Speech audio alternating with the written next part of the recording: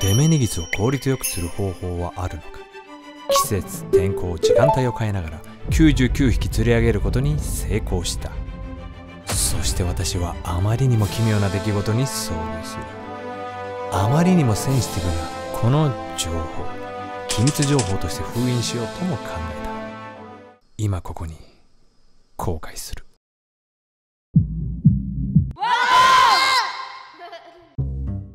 私は手始めに魚の負け餌を5000個用意した。最初に目をつけたのは10月。10月に海に出現する魚の数は16種類。シーラとローニンアジは桟橋限定。アンチョビとエイはデメネギスと時間帯が被らない。雨以外ならシーラカンスも出現せず。なんと出現する魚の数は11種類と1年を通して最も少ない月なのである。簡単に答えは出るであろうと考えていた。だがそう甘くはなかった。魚の負け餌500個を使ってみるものの釣れたデメニギスの数は6匹。魚種の少ない月に釣りやすいという仮説は成立しなかった。11月12月1月。晴れ曇り雨雪流星群オーロランなどさまざまな天候下で釣って釣って釣りまくった。それでも手応えは得られない。2月3月4月。さまざまな条件で魚の巻き餌をばらまきさらに釣り続けた。しかし未だ革新的な手応えは得られない。焦りだけが全身を襲う。それでも釣りを続ける。そして5月。奇妙な出来事に遭遇した。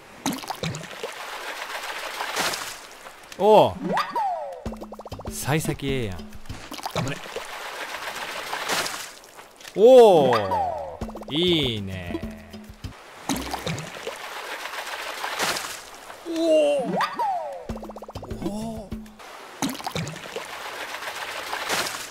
うわ来た。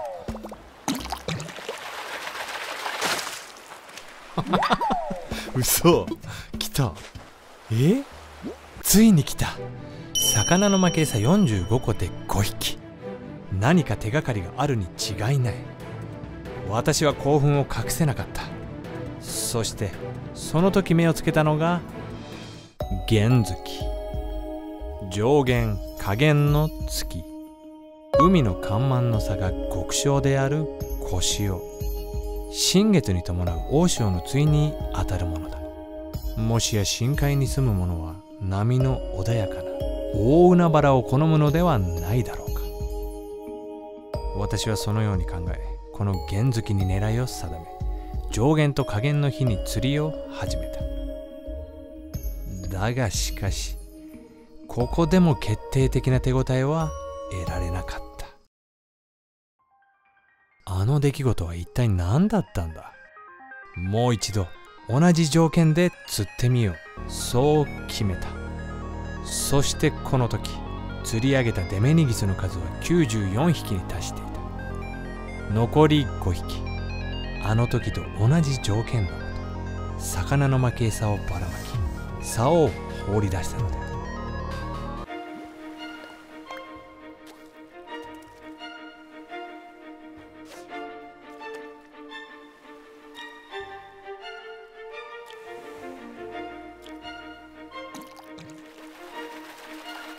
よし。95もう少しや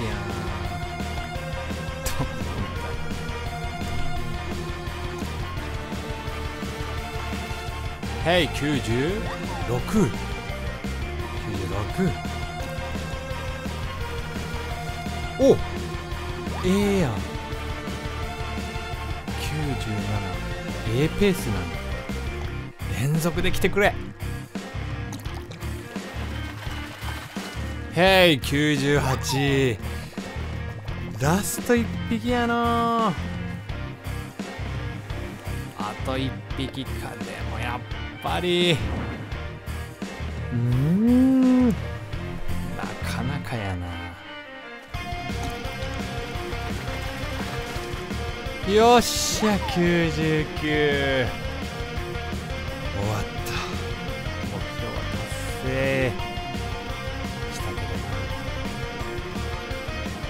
ついに99匹まで釣り上げただがどうだろう。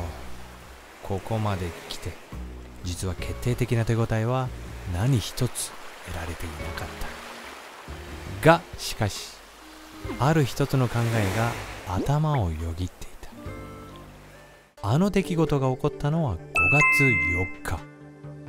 そう。緑の日だ。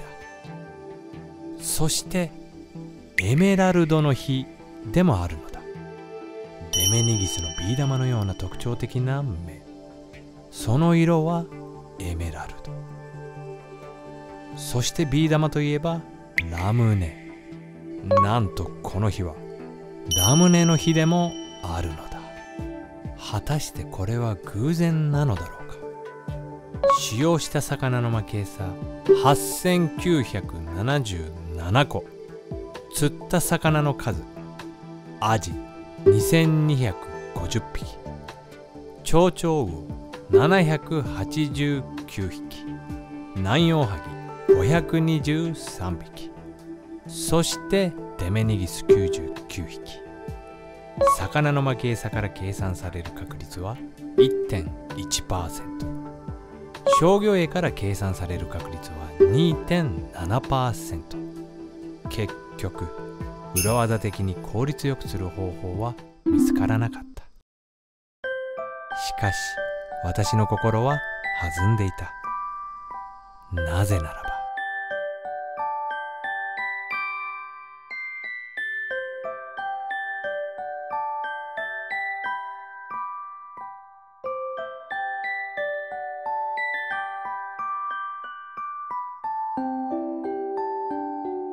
我が島の副隊長の誕生日なのだ。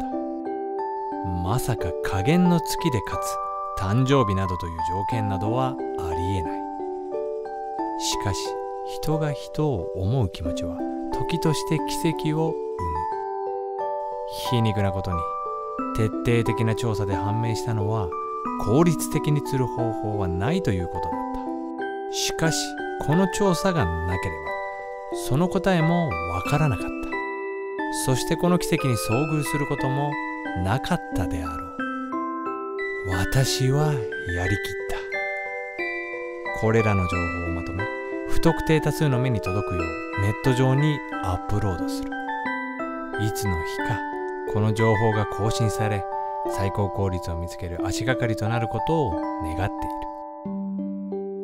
大切な人が生まれた日に心弾んだ思い出と共に。